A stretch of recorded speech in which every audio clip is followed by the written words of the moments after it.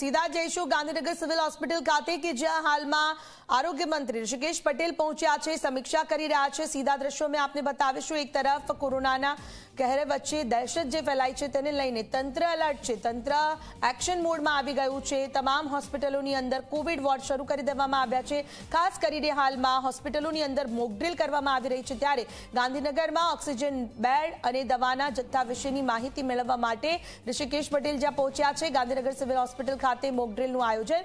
એકાએક કેસ વધે તો સ્થિતિને કેવી રીતે પહોંચી વળવું તે માટેની તૈયારીઓ કરવામાં આવી રહી છે અને તે તૈયારીનું નિરીક્ષણ કરવા માટે ઋષિકેશ પટેલ આરોગ્ય મંત્રી પહોંચ્યા છે. તે તૈયારીઓની સમીક્ષા પણ કરી રહ્યા છે. સાથે સાથે મોકડ્રીલની અંદર લોકોને એ પણ જાણકારી આપવામાં આવી રહી છે કે ગાંધીનગર સિવિલ હોસ્પિટલ તમામ રીતે સજ્જ છે. ત્યારે ઓક્સિજન, બેડ, દવાનો જથ્થો આ અંગેની માહિતી મેળવવામાં આવી રહી છે.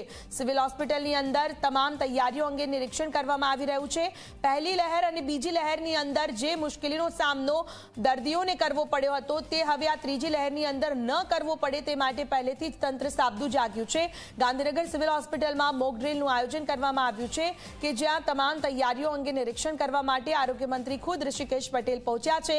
સાથે સાથે આપને પણ જણાવીએ કે મોક અંદર વ્યક્તિ જે દર્દીઓ છે તે જ્યારે આવે છે, મોટી સંખ્યામાં પહોંચે છે, ત્યારે તેમને પ્રાથમિકથી લઈ અને તેમને જરૂરી જે સુવિધાઓ આપવાની છે તે માટેની શું તૈયારીઓ છે તેનું નિરીક્ષણ કરવામાં આવશે. એકાએક કેસ વધી જાય છે તો એ સમયે તંત્ર સ્થિતિને કેવી રીતે પહોંચી વળશે તે અંગેની પણ કવાયત હાથ ધરાઈ છે. આપ જુઓ કે હાલમાં નિરીક્ષણ કરી રહ્યા છે આરોગ્ય મંત્રી ઋષિકેશ પટેલ ગાંધીનગર સિવિલ હોસ્પિટલ ખાતે.